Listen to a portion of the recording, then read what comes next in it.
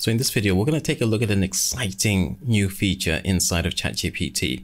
It's called Hot Mods. And if you want to use this guy here, you have to go to the Explore button. And inside of Explore, you should find Hot Mods somewhere down here. I've already used it, so it's in my recent section. Let's go ahead and call it up, or you'll find it up here. And when we call it up, it should allow us to upload an image. Now I can actually show you exactly how it works because I've done a few images here. This one was when I uploaded a car, the car didn't upload properly. And I said, make it look vintage. And it just created a vintage photograph. So it's using images for prompts. This image here was actually properly uploaded. And I gave it a, a word prompt, just saying, make the Pharaoh photorealistic. And it understood this is the Pharaoh, make the Pharaoh photorealistic. So we got a photorealistic not Pharaoh, but death mask of the Pharaoh. So these are death masks that the Egyptians used to use. And this must have been one handsome fella. He looks really, really impressive here. Uh, I'm not sure where the snake was because there's usually a snake up here, isn't there? But he didn't capture that. Maybe its rules say you can't put a cobra next to a person or some nonsense. Anyway, we've got the starburst here and I uploaded that and said, place a beautiful mug of coffee in front of the starburst. The next one is really going to be impressive. That's what we got. Then I put make it photorealistic. And this is what we got. Starburst. Can you imagine trying to explain this in, in words to, to DALL-E uh, 3? You can't do it.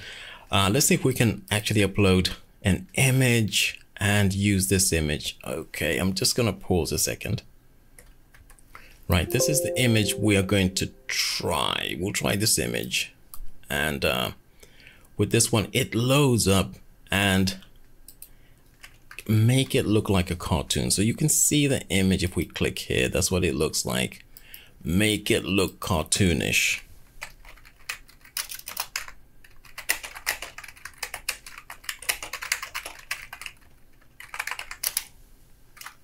Now it is fairly buggy, so quite a lot of the time it won't work. It will complain, it will do all sorts of weird stuff.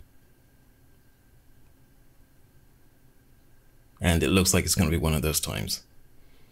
No, it's creating the image. So it uh, succeeded, and we've got here this uh, very pink-looking lady with the with the microphone. I was hoping it would give us something a little bit more close to to, to the gentleman there, but obviously it decided to do uh, its own thing error generating a response, whatever. Let's go back and look at some other ones that I did. This one was a car that I created and I said, make it black. Let's make this guy black. And it, it had a problem with that. Oh boy. And uh, let's go and take a look at another one. So with DALL-E, sometimes it has some really, really weird uh, behaviors. These are the ones we were looking at. Let's take a look at the luxury car. And uh, let's see this one. We've got the old rap car there. And uh, that's the image prompt. And I said, let's make it white and look kind of classic and vintage. And it did make it look classic and vintage. But it wasn't sure about the pose, the rap pose. This guy, I said, make it look like a sphinx. Let's make this guy, put this guy in the pose of a sphinx. And it did but it did also keep the one of the legs bent because the one of the legs is actually bent on the on the line. He's resting um, one of his uh, paws on the other one. And it also copied that which is not exactly what I wanted. This one was a bit more creative.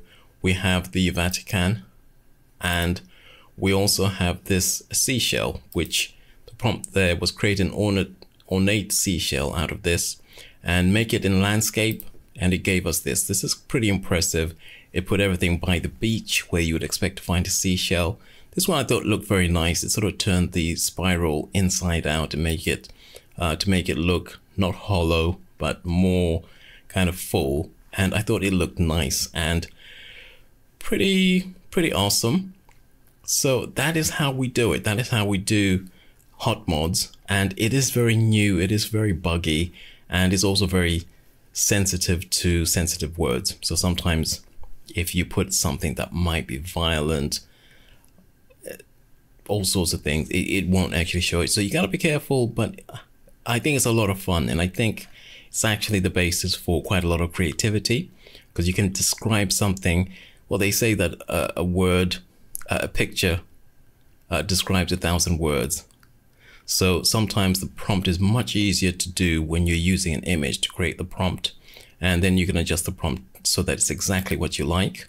And if you want to see the exact prompt that DALL-E 3 used, you can actually see it here. So that is how we create mods, hot mods, using the hot mods feature inside of ChatGPT 4. Try it out, have fun.